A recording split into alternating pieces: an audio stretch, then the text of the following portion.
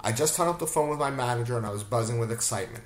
Although I hadn't agreed to anything, I was just offered an opportunity to fight Daijiro Matsui in Tokyo, Japan.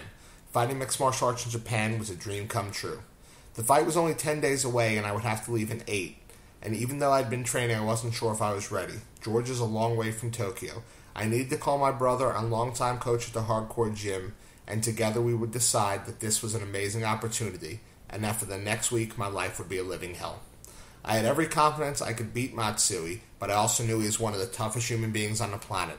His record included fights against the sport's most elite fighters. Many of his fights ended by decision, so I needed to be in great shape because it was likely this fight would go to distance. At only two five minute rounds, I needed to be able to go hard from start to finish. My fight preparation started soon after hanging up the phone. I headed to the gym to get my butt whipped into shape at an accelerated pace.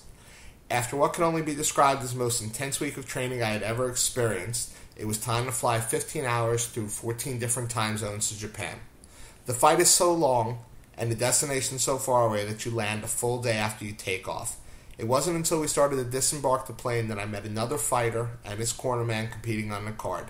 We met up with a third fighter and together with a chaperone traveled by train to our hotel in Tokyo.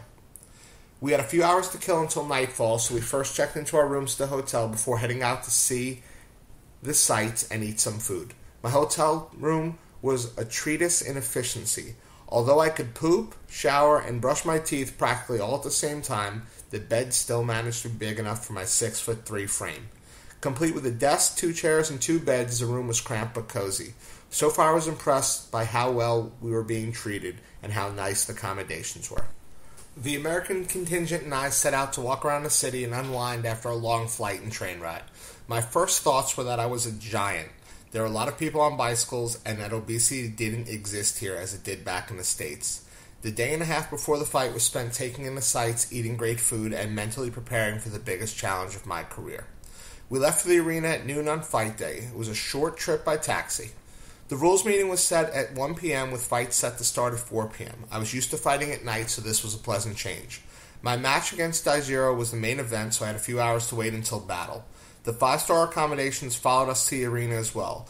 Pride knew how to take care of its fighters. We were provided everything we needed from food and water to a mat with a pillow to sleep on. My two new American friends fought valiantly but lost. It was my turn to take the ring and try and end the night with a victory. They, along with the third American, would corner me against Matsui. I wore my gi and beanie to the ring and disrobed before climbing through the ropes. Daijiro soon followed after and made his way into the ring. For the next 10 minutes, we fought our butts off. I did more damage and landed more strikes, but was unable to defend my opponent's takedowns. I was surprised with how great I felt, even though I had a short time to prepare in Athens before leaving. As the bell sounded, I popped up to my feet and hugged my now mangled opponent. It was such an honor to fight him. I wasn't surprised the unanimous decision went his way. Maybe it was the yellow card I received in the second round or the fact that I was fighting a Japanese hero in Japan.